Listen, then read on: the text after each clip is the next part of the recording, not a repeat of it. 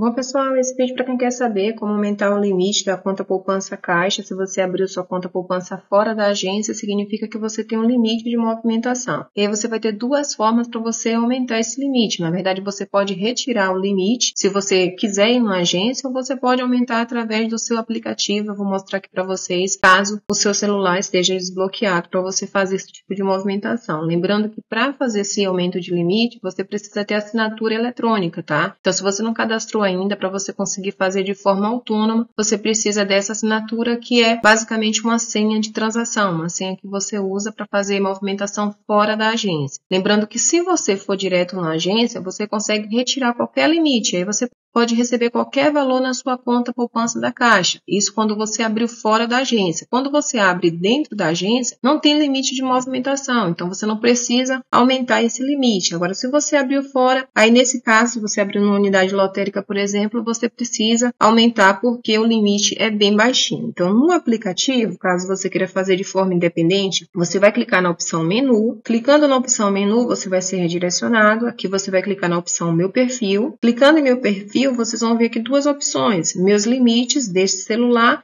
e meus limites diurno e noturno, ou seja, durante o dia e a noite. Eu vou clicar nessa primeira opção, você pode usar qualquer um dos dois, tá? Como vocês podem ver aqui, nessa opção você vai poder cadastrar limites maiores para você realizar transações, como pagamento de boleto, transferência entre contas. Também tem aqui o aumento do limite no horário da noite, tá? Que você pode aumentar de forma específica. Então você pode clicar aqui na opção aumentar limite, eles já dão aqui os limites atuais e quanto você pode aumentar. Você consegue colocar aqui para boleto, por exemplo, até 10 mil. Limite de transferência pode aumentar até 30 mil. Como eu falei na agência, você retira esse limite e deixa o limite bem maior. Então você clica na opção aumentar limite.